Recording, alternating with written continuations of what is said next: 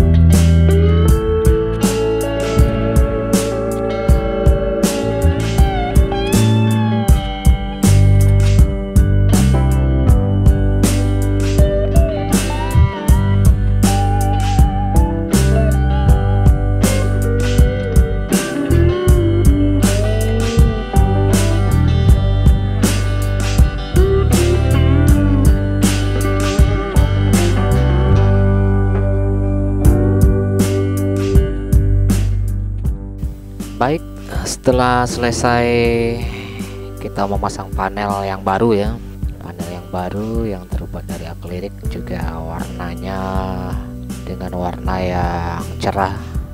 Berikut kita akan memasang band pass filter. Ya, kali ini saya akan membuat tiga band saja ya pada band passnya 80 meter, 40 meter dan 26 meter. Nah, dan juga kita harus pastikan semua jumper pada soket band ya soket uh, band atau TXRX band pass filter sudah benar betul-betul terpasang semua. Channel 1 2 3 sampai 6 jadi kali ini saya pasangnya cuma 3 band.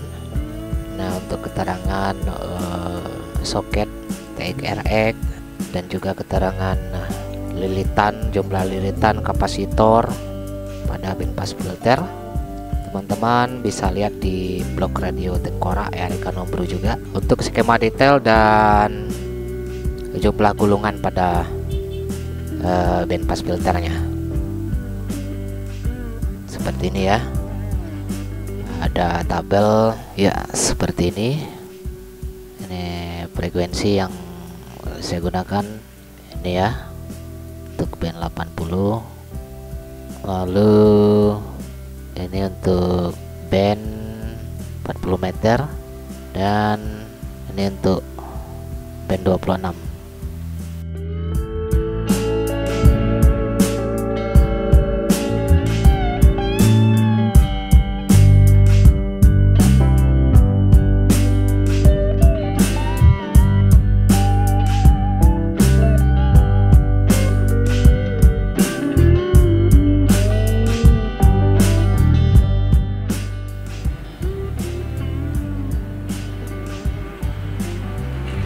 Oke setelah selesai semuanya kita akan uji dulu.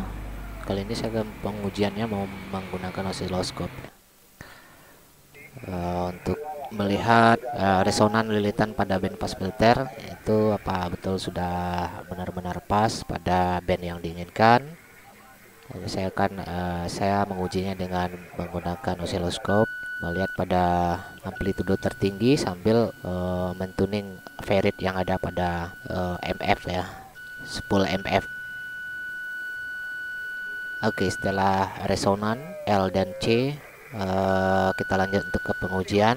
Namun di sini saya ada kendala ya karena saya tidak mengetahui ada yang short pada bagian blok final itu beberapa kapasitor elko tantalumnya ada yang jebol ya ada yang short jadi begitu saya transmit itu uh, terjadi kebakaran pada PCB dan juga relay. Relay TXRX yang ada pada PCB regulator ya PCB regulator. Itu PCB yang berdiri menyamping ya. Uh, setelah saya adakan pengecekan uh, dan penukaran komponen elko yang short nah kita uji lagi alhamdulillah bisa sudah bisa normal ya RX maupun TX karena tadinya tegangan 12 volt pada TX itu uh, mengalami short dan juga uh, tegangan 12 volt pada RX itu tidak berfungsi gitu. Nah setelah kita ganti relay dengan elko nah, alhamdulillah udah berfungsi kembali dengan normal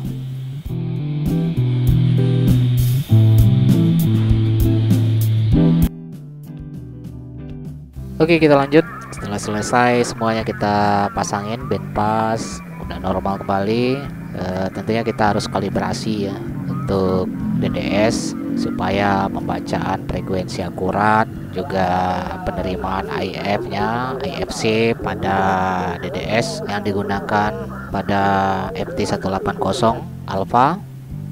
Ya, tentunya kita harus uh, setting dulu dan mengacu pada user manual yang uh, sudah di print dapatkan langsung ya sewaktu kita membeli uh, produk DDS dari Om Adiba. Pastikan semua sudah tersetting dengan benar ya pada menu DDS dan menyimpan uh, frekuensi IF. Oh, oh.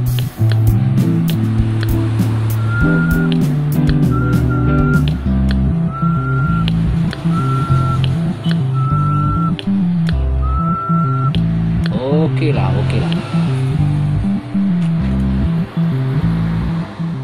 Oke kita lanjut. Uh, merapikan kabel-kabel yang ada dan memasang uh, transistor switch ya. Ya untuk uh, switch band saya mempergunakan transistor NPN dan juga PNP sebagai switch untuk uh, band pass juga untuk relay low pass ya. Saya menggunakan transistor semua ini. Jadi tidak menggunakan relay ya hanya menggunakan tiga buah transistor uh, pada switch RXTX band pass dan satu buah transistor itu untuk relay low pass. Jadi tiga buah transistor ya NPN 2 PNP nya satu. Nah skematiknya seperti ini. Ya awalnya uh, saya coba seperti ini tapi ada kendala. Uh, sharing tidak keluar tegangan ya menggunakan dua transistor dan akhirnya saya putuskan untuk merombak rangkaian transistornya seperti ini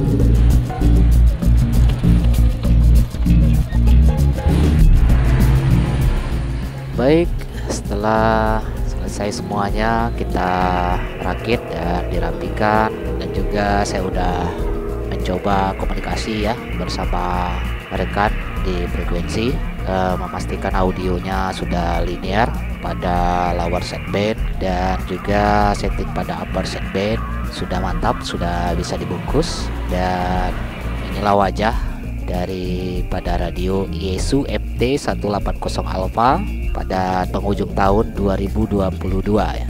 Uh, dan uh, sepertinya rekan-rekan homebrew di Indonesia terus berinovasi. Uh, kita nggak tahu ya untuk tahun 2023 seperti apa lagi yang akan uh, diciptakan ya tentunya lebih uh, bagus lagi tentunya ke depannya. Baik, sekian saja uh, tutorial kita kali ini modifikasi radio Yesu FT 180 Alpha uh, 3 band pada band 80 meter band 40 meter band dan 26 meter band. Ya mudah-mudahan lain waktu uh, lain kesempatan kita akan membuat uh, video lagi. Uh, di mana 180 FT 180 akan saya padukan dengan final IREC ya uh, menggunakan IRF 250 atau IRF 150 push pull termasuk juga drivernya uh, nanti akan saya tampilkan juga pada video. Oke terima kasih semuanya yang sudah subscribe channel ini. Terima kasih sudah menonton. Assalamualaikum warahmatullahi wabarakatuh